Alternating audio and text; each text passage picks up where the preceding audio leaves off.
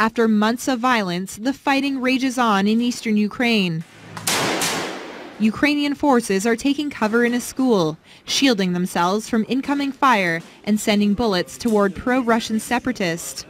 As shots ring out east of Donetsk, the leaders of Russia and Ukraine met for talks in Minsk, agreeing on the need to de-escalate and free hostages.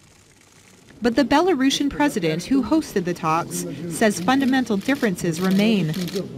Starting with a handshake, the talks were aimed at defusing a separatist war that has heightened tensions between Russia and NATO and has prompted the U.S. and the EU to slap sanctions on Russia.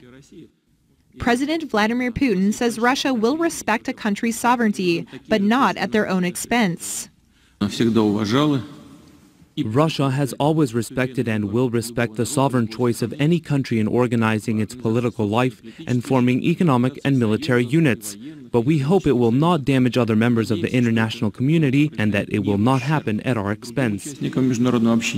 Ukrainian President Petro Poroshenko demanded Russia stop supplying separatist fighters with weapons, a charge Moscow denies. We should do everything to stop supplies of military hardware and weapons to the rebels because we are deeply convinced that effective border controls are only possible with participation of the OSCE.